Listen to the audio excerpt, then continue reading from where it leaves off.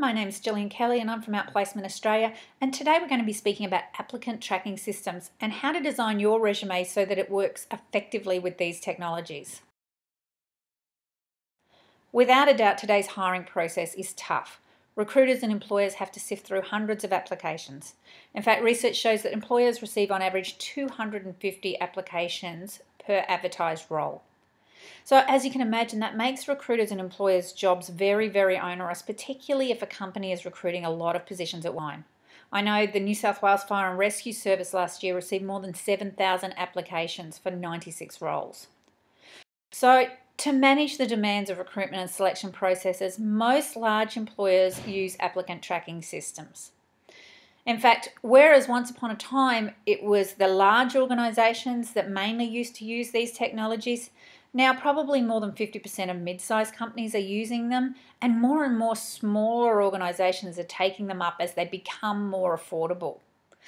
What does this mean? Well, essentially, it means if you are undertaking a job search um, campaign, the likelihood, if you're sending your out, is that at some point it's going to be put through an applicant tracking system. And you want to make sure that your resume is designed effectively to work within these forums. Unfortunately, the downside of applicant tracking systems is that whilst they're great technologies, sometimes computers and people don't speak the same language. And what that means is when people are designing their resumes to be read by an employer or recruiter, sometimes when they're putting that information together, it isn't always also in a format that can be read by the computer and analysed easily within its systems and technologies. So these days, resumes really need to be designed for both. They need to be designed for both people and technologies that are reading those documents. And that, of course, is making the resume development process a lot more complex.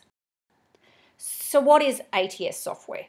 Well, essentially, um, it's a technology that helps recruiters and employers to streamline the recruitment and selection process. They do this by um, when your resume comes into the system, it gets scanned the relevant information gets extracted out of it and put into their um, data banks in, in the different fields. And then that information is then used and assessed against the key criteria for particular roles. So essentially, what they're doing is scanning your resume and seeing your relevance to the advertised role and the requirements of that role. And then they rank the resumes based on that relevance and suitability. So you need to make sure, of course, that when you're designing your resume, that your key skills and achievements relevant to the role are coming out effectively and are being able to read, uh, be read by those technologies.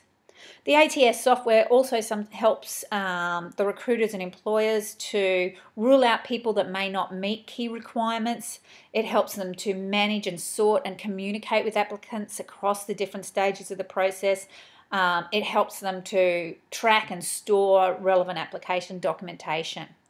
Um, so, yeah, it's quite a good technology, but unfortunately, sometimes the issue with the technology is that pe- because people don't necessarily understand how it works, their resumes aren't always designed to be effectively read by that software, and that means that good candidates don't get through, and good companies lose potentially talented um, uh, employees. In fact, I saw one statistic recently that said ATS kill up to 75% of candidates' chances of landing an interview as soon as they submit their resumes. And I guarantee that that's not because that 75% weren't suitable for that role, but because a large proportion of them didn't understand how the technologies work and so their de- resumes weren't designed effectively to be read by the um, ATS systems. So, how do you avoid this? How do you make sure that your resume is designed effectively both for the people reading your document and also the technologies? The following are a few tips that I would recommend. Firstly, find out as much as you can about their file preference before you send your resume in. So pick up the phone and talk to the employer or the recruiter and ask them how they want your resume submitted. Do they want it in a Word document? Do they want it in a PDF? Do they need it in, in plain text? Um, when you know how they want that file to be um, sent in, then you can design your resume to that.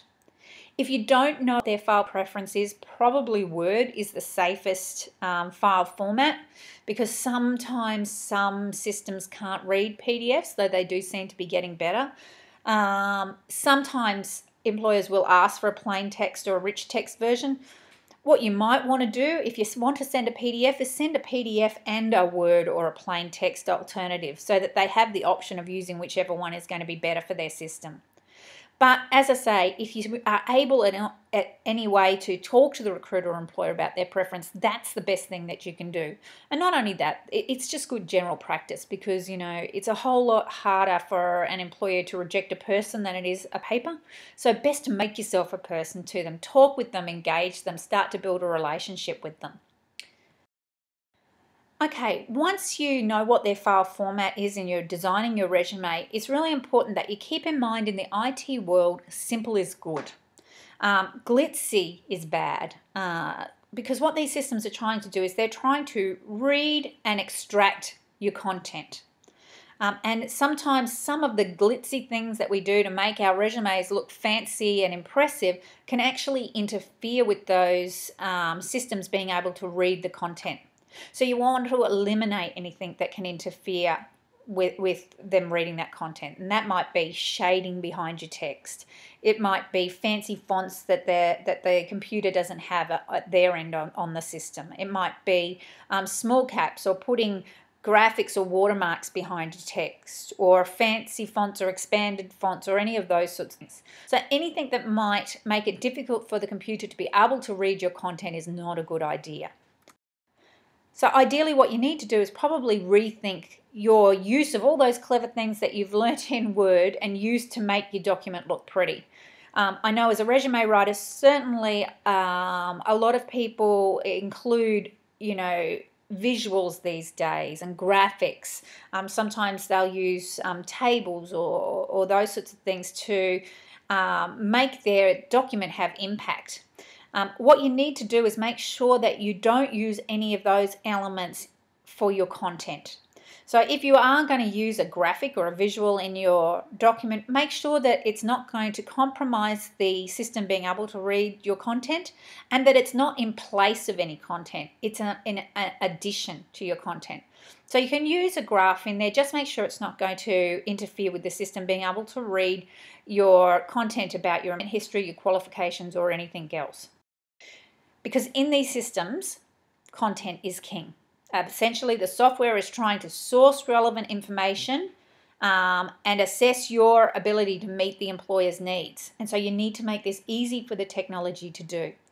The most important tip that I can give you is make sure when you're running your resume that you are very, very familiar with the requirements of the role and the terminology that they use in their advertisement and any position descriptions because you want to try and reflect this information. Um, keywords are really important for um, ATS systems. So they're searching to try and match the relevance of your skills to the relevant um, skills that the role needs. And so you want to make sure that your resume aligns with those as much as possible. So filter throughout your resume evidence of your ability to use those skills across all your roles um, and reflect the terminology that they're using in the ad. One um, quick little way to just to see if your resume is reflecting the keywords is maybe to use something like Wordle to have a look at the um, keywords in the ad and compare that to the keywords in your resume.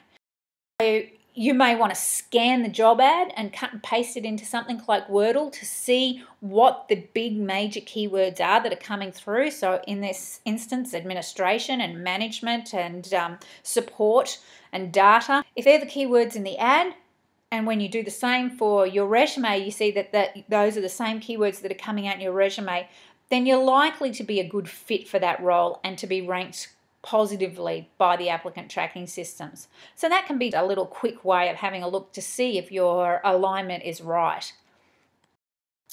The other thing to keep in mind when designing your resume is you want to make sure that you keep it as standardized as possible.